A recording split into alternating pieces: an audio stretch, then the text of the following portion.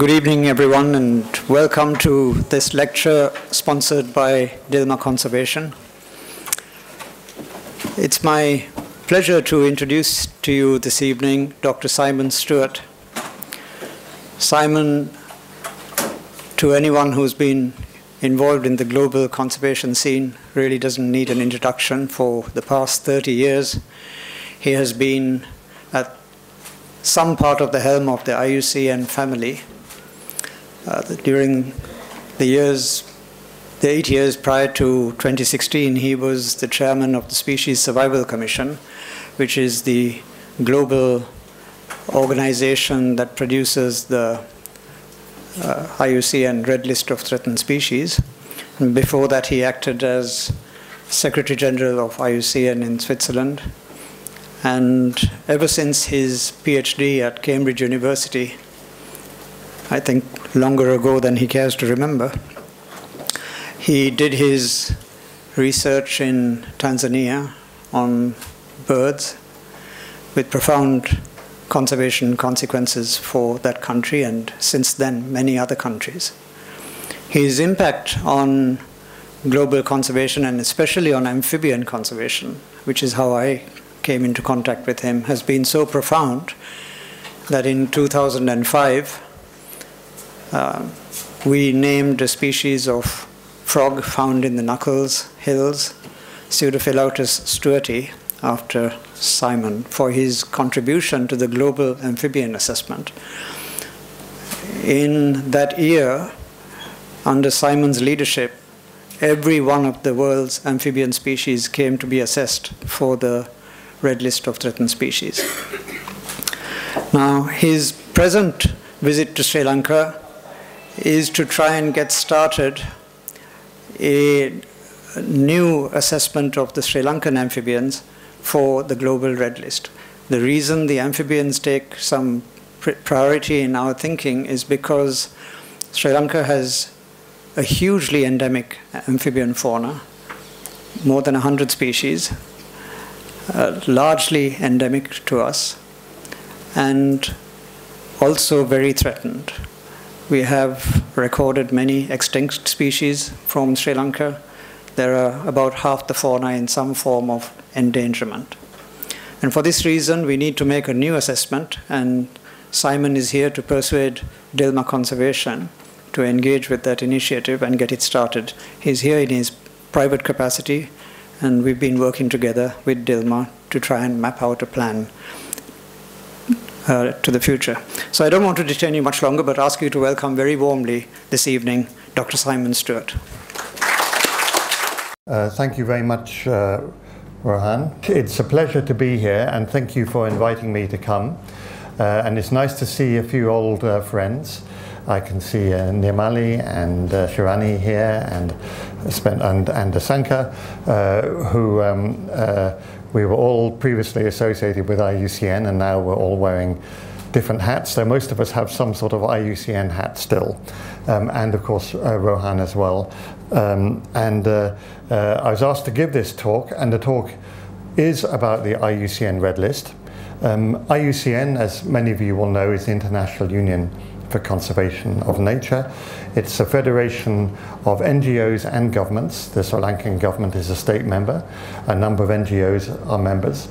And also within IUCN are commissions of experts, one of which the Species Survival Commission is responsible for the Red List.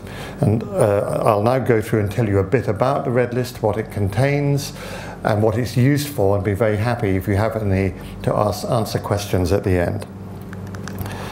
Um, so the Red List is the world's official and most comprehensive source of information on the extinction risk of species. And it's not just a list. Uh, if any of you have been onto the Red List website, iucnredlist.org, you will have noticed that it contains an awful lot of information. It's not just a list of names and how threatened the species are. There are distribution maps, uh, there's all sorts of information um, about how many there are of particular species, what the population trends are, etc. It's based on the best available scientific information and it's widely used to inform uh, and influence uh, conservation. And I'll give some examples of that later on. as I said, it's more than just names and threat categories. Um, uh, most of the species have maps, um, uh, distribution maps now. That, that didn't used to be the case. A lot of information on the threats that species face, habitat loss or overhunting or invasive species or pollution or whatever.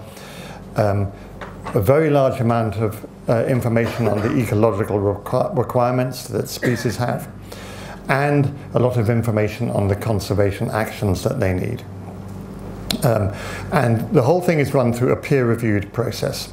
Uh, so leading experts do the assessments of the species and then independent people then review those assessments and um, uh, then they get submitted. I'll go through that process um, in a minute. But to give you an example, uh, yesterday I reviewed, uh, uh, I was asked to be the independent reviewer for two turtle species in New Guinea. And today, I, in a bit of spare time I had, I reviewed one frog from Palau and another one from Chile. So, so that's the sort of thing, and there are thousands of people around the world doing this sort of thing every day. Um, so the red list assessment, that is the category that um, a species is given, is an estimate of, of, extinction risk.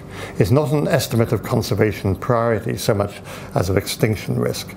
Um, so the question that's being asked by the red list categories is, what is the likelihood of a species becoming extinct in the near future, given what we know about it at the moment, about its population trends, range, and threats. So, so that's, that's what it is about. Um, and it's a little bit like if you go to hospital to what the Americans call the emergency room, and in Britain we call A&E, accident and emergency, I think. And so if you go to a hospital, um, if you go to the emergency room, they have a set of criteria there on the left, and they'll be looking at, oh no, there we are, there. Um, um, uh, they'll be looking at, are you walking, are you breathing, um, what is your breathing rate, what is your circulation, and then they'll put you in categories ranging from dead, where you don't want to be, all the way through to priority three, really not that, shouldn't be in the emergency room at all, um, uh, and various different levels. And so they have criteria to put you in the category of how they're going to treat you. And the red list is a bit like that as well. It has criteria. Um, there are five criteria, A, B, C, D, and E. So population reduction, restricted geographic range, small population size and decline, very small or restricted population, and a quantitative risk analysis. And around all of these criteria, there are numerical thresholds that decide which category you go into, ranging from extinct through to least concern. So extinct in the black, down to least concern where you're not not at any elevated risk of extinction. So that, that is how it works. The details are much more complicated. Uh, there are probably a number of you here who have done, well, I know there are a number of you here who have done red listing, and you'll know that how it actually works out, all the different criteria, sub-criteria, and the different numerical thresholds are quite complicated and it requires some training. Um, but in principle, it's about taking a species, taking what we know about it, applying the criteria, and choosing the categories. And the other key thing is you only need to use one of the criteria to list the species in a category. Because for some species we won't know about population reduction, for others we won't be able to do a quantitative risk analysis, whatever. But as long as you can apply one of the criteria, you can put it in a category. That's basically how it works. Um, now, some very big scientific brains went into developing this system. It didn't happen overnight. And the two most famous people you probably heard of um, were um, uh, Georgina Mace and Resit Akçakaya. Georgina Mace is a professor at the University College London, and um, Resit Akçakaya is a Turkish biomathematician now at the Stony, Stony Brook University in Long Island, uh, New York. Um, and they are the people who, over many years, developed and improved uh, the system. When I was last in Sri Lanka in 1999, um, it uh, um, was um, uh, Resit Akçakaya was there. anyone remember that here? You do. And if you so um, we had a very interesting time with Resit answering questions. I remember, um, and he's still very involved to this day. And then lying behind the data collection uh, uh, is the network of the IUCN Species Survival Commission. Here they are with all their logos. Actually, it's only some of them because we couldn't fit them all onto one slide, but there are about 140 of these groups that do the red listing and, and, and do, do the assessment. So it is dispersed across the world. Um, so uh, when the amphibians get reassessed for Sri Lanka, um, it'll be the uh, Sri Lankan members of the amphibian specialist group, which is on the top row there, that will, um, that will be doing that assessment. Also underlying the red list are a set of organizations that, that have agreed to commit resources to it in various ways, and this is called a red list partnership. Um, and uh, um, you'll see some of those organizations there. And the people who work full time to hold this all together, you know, in so many systems in the world, you've got all the people up front who get the publicity, and then you've got the people behind the scenes who do the real work. Now, some of those people are the assessors, the individual scientific experts who are experts on a few species who contribute their data. They're the unsung heroes, if you like. And the other unsung heroes are these people Craig Hilton Taylor and Caroline Pollock, who have been at the Red List unit, which is the central hub in the IUCN Secretariat that run the whole process and keep it on the road. Make sure the Red List website doesn't crash.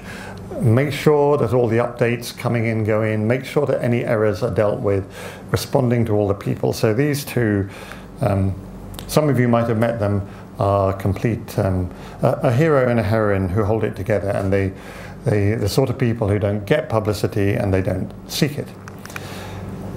Now, a little bit about the assessment process. So it starts with data compilation. So you've got a species, let's say species we've never assessed before. So the, all the information needs to be gathered and it gets put into what's called the SIS. The SIS is a species information service, which is IUCN's online database, um, but, but that sits behind the red list. And, you, and you've got certain data fields you have to fill in. You have mandatory data fields, and you have voluntary data fields, which you can only fill in if you have the information or if you want to. You must at least fill in all the mandatory data fields. And then when that's done, what normally happens, it goes to an assessment workshop where we get all the experts on a group of species, for example, Sri Lankan frogs, and we go through them all and we see how they're doing. Um, and, and all the different experts get to comment on the draft um, data compilation that took place. Um, and so, so that's um, what tends to happen. And so we're hoping later this year, for frogs for one example, that there'll be a new workshop where the, all the Sri Lankan frog experts will come together. They'll look at all the draft data that have been put together. They'll review it, improve it, update it, and they'll make sure that the correct red list criteria and categories are applied.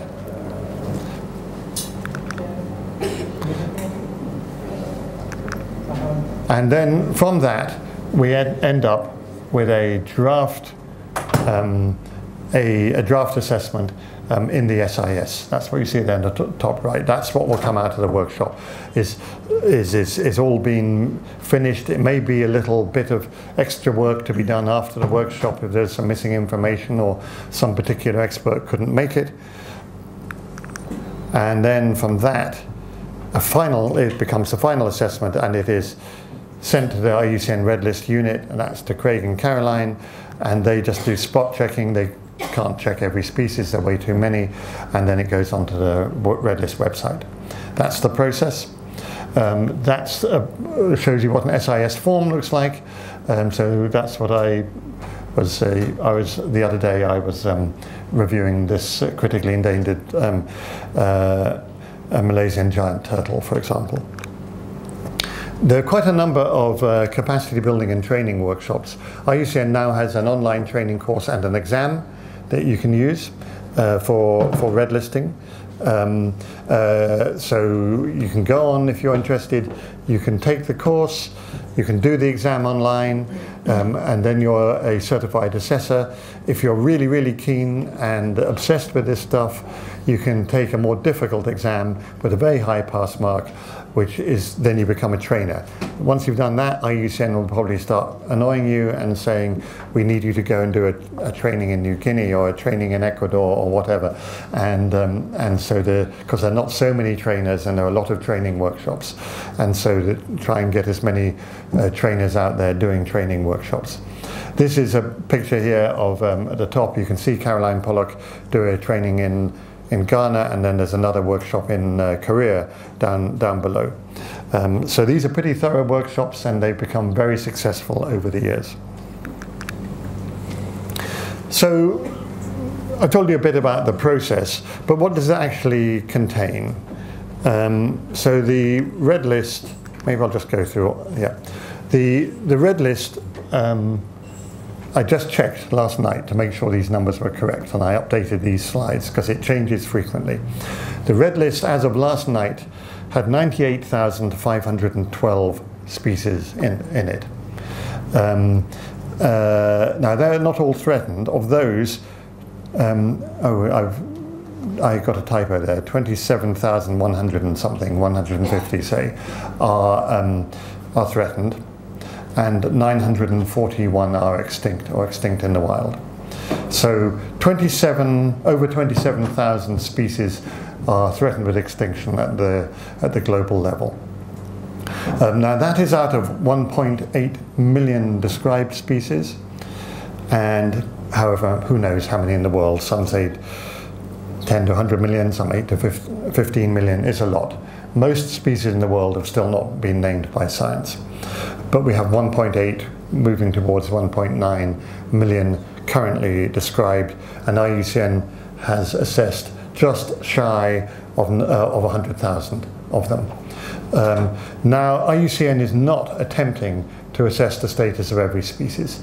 It simply would be too much work, and we have to actually get on with real conservation. Um, we don't just want to be assessing species all the time. Um, and IUCN has done a calculation, I was involved in this, to work out how many species and which species do we need to assess so that the red list is what we call a reasonably accurate barometer of life, showing us what's happening to biodiversity as a whole. And the answer to that is about 150,000 species, with a big increase in the uh, number of assessments of plants, of fungi, marine species and invertebrates. So, um, so that's where the big focus is going on at the moment. And the plan is within the next few years to get the number of assessed species up to around 150,000 and then keep it at around that level, though it'll probably still creep up. But the key thing is, even though these numbers sound big, they're only the tip of the iceberg like that little red halo there on top of the iceberg. They're only the tip of what actually exists out there in, um, um, in biodiversity as a whole. And so in the end, the red list has to be, we hope, representative of a much larger number of species that have not been assessed and probably never will be assessed. Um, now, this is not the easiest um, graph to see, so um, uh, so uh, um, apologies for that, but I'll try and explain it.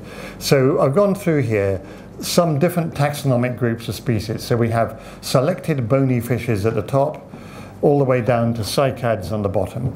And the more um, red, orange, or yellow you have in there, the more threatened that um, uh, uh, group is. And the more green you've got, the less threatened.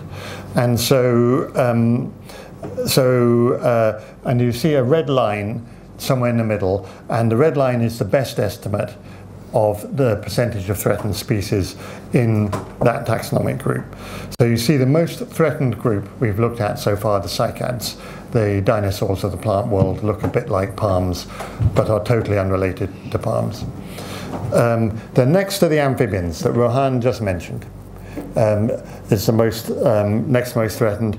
Then there's selected groups of dicot plants, then selected reptiles, conifers, reef-forming corals, etc. Um, and the least threatened are the birds, selected gastropod mollusks, and selected bony fishes.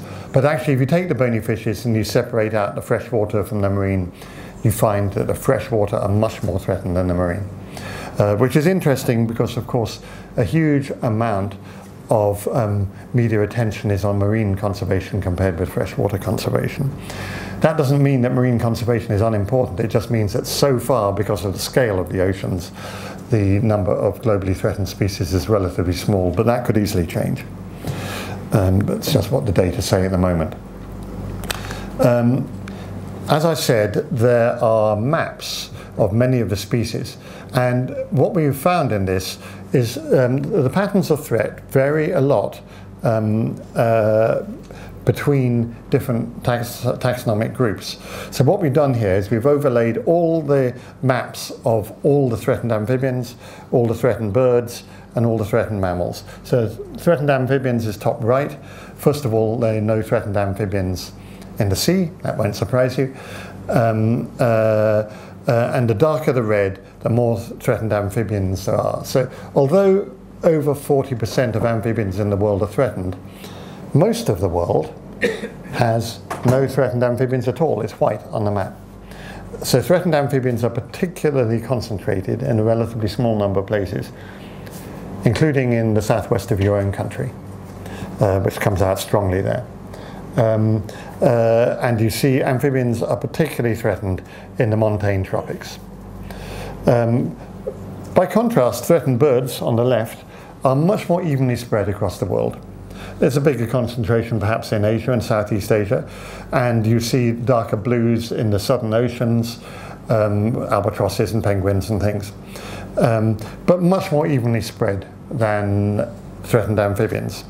And if you look at threatened mammals, you'll see a huge concentration in tropical Asia of threatened mammals, especially in Southeast Asia, um, and a fair amount in the Andes and places like that as well. Um, uh, threatened mammals are more broadly distributed than threatened amphibians. Um, and so that just gives you an idea. And the key message for conservation here is that many taxonomic groups are not good indicators of the threat patterns of other taxonomic groups. And so in trying to work out which species we need to um, assess for the IUCN Red List, we've been trying to understand which new ones do we need to do that will add new information because no other group currently assessed is a good indicator of it? And that's what we've been trying to do.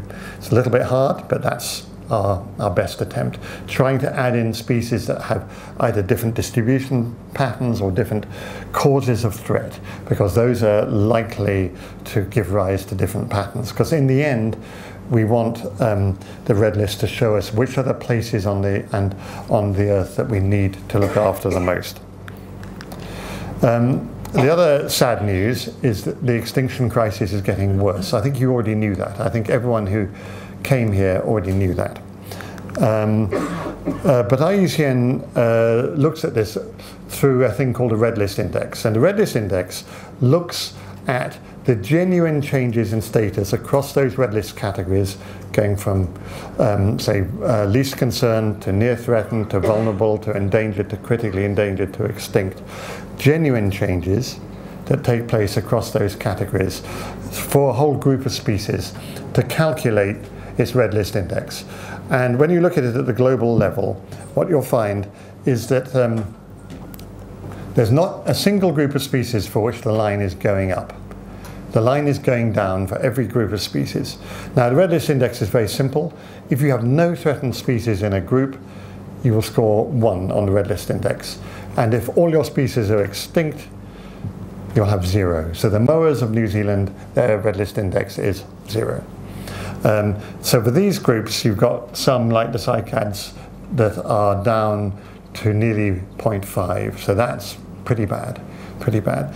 Um, and you'll see the, the level of the slope varies. The blue is the thing that the clever statisticians have done to um, average across the um, different um, taxonomic groups. And but you'll see that birds that receive a lot of conservation attention are going down, but it's a fairly gradual line.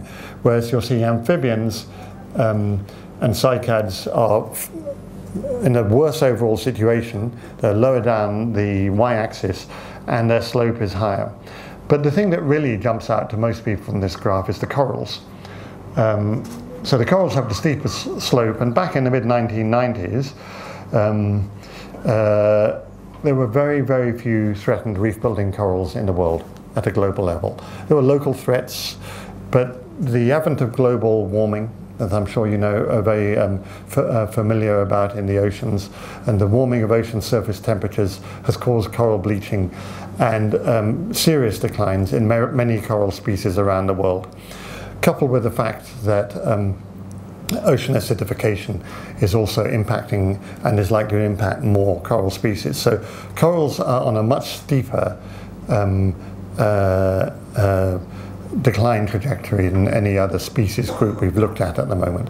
And I said a little while ago that there are very few threatened marine fish species this is why we can't be very confident about a statement like that because there are huge changes going on in, in the oceans and uh, loss of coral reef habitats is bound to have very significant um, impacts on ocean chemistry and on available habitat for a very large number of species. Um, okay, so this is all bad news, right? Do you want a bit of better news? Yeah? So here's a study that I did with a few of my colleagues uh, with Mike Hoffmann, who some of you might know, and a few others. Um, because what we wanted to do was to say, can we use the red list to try and understand what is the impact of all the conservation we've done so far? Because if you look at graphs like the ones I've shown you up until now, you could be forgiven for coming away and thinking, this is a depressing thing, this conservation stuff. Why are we doing it? It never works. Everything's going down couldn't we find something more useful to do that might be successful? Um, but many people involved in conservation know that we have some successes, but they're not showing through on the Global Red List Index or on WWF's Living Planet Index or things like that. So what we did, we, we ran a thought experiment and we took all the world's ungulates, the deer and antelopes and wild cattle and things like that, um, about 250 species, I think. And we looked at what happened in the Red List Index between 1996 and 2008 for the uh, world's ungulates, and that is it. That's the observed Red List Index. It went down. And then we said, uh, we're going to conduct, conduct a thought experiment, and then we're going to imagine that in 1996 we decided to stop conservation of ungulates. So we will get rid of any protected area that is conserving ungulates, we'll degazette that, we will stop all hunting controls, we'll stop CITES, we'll stop uh, captive breeding in zoos, well, whatever is doing good for, uh, for um, ungulates, we're going to stop doing it. And we set up a set of decision rules as to what would happen, knowing about the pressures, and it's all written up in the paper we published. And the answer is, if we'd stopped all conservation over that 12 year period, just 12 years, that is what would have happened to the red list index. It would have actually been seven or eight times worse than what actually happened in just 12 years. So the difference between those two lines is the impact of conservation, which is actually quite big. So the main problem with conservation is we don't do enough of it.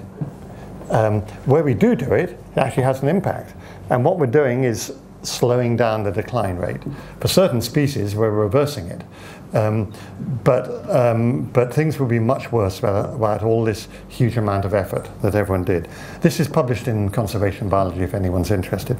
Um, um and I can send a PDF, though I think it's open access. Um, Durrell Wildlife Conservation Trust um, which is an organization that does a lot of really good work on threatened species, have um, looked at this and they've gone even further. And they looked at, um, I'll do the next slide, and basically uh, they've been working on a set of species for a long period of time and done so much good that they actually got their red list index line to go up. They actually got it to go up. Um, and then they looked at what would have happened if they hadn't done that and it would have gone down. So, so they have shown that if you run a long-term, a very intentional conservation program, you can turn, start turning the corner. having said that, um, I, I, just said a moment ago the main problem with conservation is we don't do enough of it. That is true, but I would be lying to you if I said that was the only problem. Um, and the reason why it's more complicated and just not doing enough of it is we are facing a whole set of problems that we're finding it very hard to figure out what to do. Some forms of overharvesting we have uh, of species we've simply been unable to get under control. Um, in principle, we know what to do, but in practice on the ground, uh, especially when the economic value of a species is through the roof, in an area of poor law enforcement or corruption, it becomes very, very hard to deal with. Dams and river fragmentation, it has proven very difficult to stand up to the economic powers behind it. More seriously, in many ways, and this is part of the amphibian story, as novel diseases, diseases that we have no cure for in the wild, like amphibian chytridiomycosis. And there are other examples, for example, affecting bats in North America or the Tasmanian devil in Australia. The impacts of climate change, that's the coral story. Ocean acidification, that's the coral story again. Disruptions to migration. So there are some things where we're going to have to take more radical um, action or come up with um, uh, novel solutions. Um, in particular, ones that I've worked on in recent years, or my colleagues have, that um, are of serious concern are these ones, the amphibians, corals, and a number of the Asian, tropical Asian uh, large animals. Um, and the amphibian story I mean, amphibians, many of them have very tiny geographic ranges, and there's no better example of that than Sri Lanka, where you have amphibians with very tiny ranges. But correct me if I'm wrong, Rohan, but um, the amphibians in Sri Lanka appear not to have been affected by uh, chytridiomycosis. There are reasons for that, uh, and that's good, and count yourself lucky. Um, but in other parts of the world, this disease has been devastating. Um, I might just point out that that um, gastric brooding frog on the top right there, with its mouth being held open by a paper clip, and you see the baby um, coming out. That species, there were two species on, in Australia, it's extinct because of this, this uh, disease. They were the only frogs that brooded their young in their stomachs. Um, and um, and that is a whole breeding strategy that is extinct. And there are many other sad stories like that. Um, corals, I just mentioned it again, so I won't repeat it, but it is perhaps the most um, serious environmental um, crisis coming down the line because it's going to do terrible damage to. Um, uh, we're, going to, going to, we're in danger of losing the most diverse ecosystem in the seas, um, and associated with that are the human livelihood benefits related to coral reefs, uh, the fisheries and everything associated with it and the coastline protection that that uh, coral reefs uh, provide. So um, so this is one where we're really going to have to do a lot more to figure out a solution. And as I just pointed out, there's been um, massive wildlife declines in recent years, in especially in Southeast Asia and, and China. Um, so in the last section, because I know time is moving on, um, I wanted to say a bit more about how the red list is used. When we set it up, um, I was involved from the beginning back in the early 1990s working with Georgina Mace. We thought it was just going to be a thing where we'd find out how threatened species were and people would then go on and use that information to plan conservation. Um, and that is um, one of the ways it's used, but we had no idea back in the um, 25 years ago how it would be used. So it is indeed used for conservation planning and priority setting. I'm just going to quickly go through these and explain them. Informing conservation priority, influencing um, uh, funding allocations, private sector decision making, education and awareness, and, and scientific analysis and information. So just on conservation planning and priority, priority, setting, this is sometimes done at the species level. So here's a frog that was unfortunately killed by this terrible disease. Um, um, and the red list has a ton of information for informing species um, specific conservation actions and priorities. Huge amount of information in there, and conservation groups are using it for that purpose every day. Um, but it's also used, for example, for site-based um, uh, uh, uh, conservation and planning and priority setting. So this is a map of the Alliance for Zero Extinction sites, which are the uh, places in the world which have um, uh, at least one uh, critically endangered or endangered species occurring nowhere else.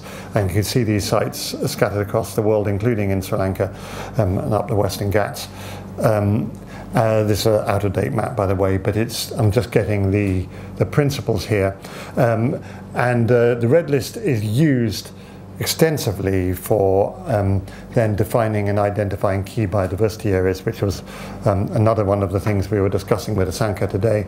And then um, uh, um, uh, because key biodiversity areas are also an increasingly widely used currency, as it were, in the conservation planning and decision making world. Um, the red list is used to inform policy. So uh, Rohan won't like this si slide because we had an interesting discussion last night about CITES, Convention on International Trade in Endangered Species. Um, but uh, this is an analysis that someone did a, a few years ago. It's looked at which are the amphibians in the world that are threatened by international trade, found that 2% uh, of them are on CITES Appendix 1, trade ban, or um, CITES Appendix 2, 40% uh, of them, uh, which is regulated trade, which meant that 58% are not on CITES. Now, whether that's a good thing or not is something to be discussed, but at least we need to know that. And that's the sort of information that is policy relevant that comes out of the red list. The red list doesn't tell you what to do about it, it provides the factual information to decide what to do. Um, a group of people have also been looking at information in the red, red list on the livelihood values that species have, because that's another thing that's collected in the red list is some of the livelihood values. And so this is um, just looking at the, um, the birds, um, and uh, this shows you that um, use as pets is actually the commonest way in which uh, um, people are deriving some livelihood benefit off wild birds. Um, uh, and then the next thing is to eat the birds, have the food, and then birds are sport, that's probably sport hunting and things like that. And then the other ways, fashion, medicine, hand, handicrafts are very seldom used. Uh, so that surprised me because that's um, about a third of the world's bird species being used as pets. That's a lot. Um, so it's um, also policy relevant information. Um, but the red list is also used for um, uh, policy setting that's not about species per se. So for instance, these red list index lines here, this is a slide I showed you earlier, um, have been used by um, uh, the Convention on Biological Diversity and the countries that are members of that convention, including Sri Lanka, to see if they are meeting the Aichi biodiversity targets that were set under that convention. And it'll be used again for the post-2020 targets to see if the curve can be bent, because that's what the governments are talking about now, bending the downward curve um, in, in the, Red List Index and various other indices that are used by the Convention on Biological Diversity. The red list is heavily used in funding allocations, so the Global Environment Facility um, has what's called a system for transparent allocation of resources. We can argue about whether it's transparent or not, but that's what they call it. Um, and that basically is an algorithm that decides how much money each country gets under the GEF. Um, and one of the main data sets used in the system for transparent allocation of resources is the red list. So, so the amount of money Sri Lanka gets from the GEF is partly determined by the red list. Other data sets as well. Um, the Mohammed bin Zayed Species Conservation Fund, one of the main species funding bodies, only funds um, uh, threatened species. They preferentially fund critically endangered species. Um, uh, the same is true of IUCN Save Our Species Fund um, and, and, and several others like that. So the red list is used in funding allocations. Now, one of the least discussed ways in which the red list is used is in private sector decision making. Uh, because up until now, I've really been talking about how the red list is used to do good, to make more conservation happen, to fund conservation in the right way, to get better policies, all of that. But the red list is also used by the private sector in particular to avoid damage. So instead of, uh, in addition to doing good, it's also done to avoid damage, preventing a negative, rather than doing a positive. Um, now, there's a special website called IBAT, Integrated Biodiversity Assessment Tool, that um, is heavily used by businesses around the world. Um, uh, and the three main data sets in IBAT, uh, they are the World Database on Protected Areas or Protected Planet, that's represented by the blue circle there the red list, um, uh, the middle circle, and then the key biodiversity area data set as well. They are brought together in IBAT through an online GIS as a decision support tool so that any company that is building a road or government that's building a road or um, financial institution that is funding a road or a mine or a dam or whatever can look and see what impact that would have. And um, they have to do this because of this, is a huge amount of the financing you need for infrastructure projects in the world comes from lenders that follow what is called the IFC performance standards. The IFC, International Finance Corporation, is the branch of the World Bank that lends to the private sector. And it has set what's called a set of performance standards that um, must be met in order to receive a loan from the IFC. So performance standard six is the environmental safeguards. Um, but their performance standards on poverty, on gender, on health, on whatever.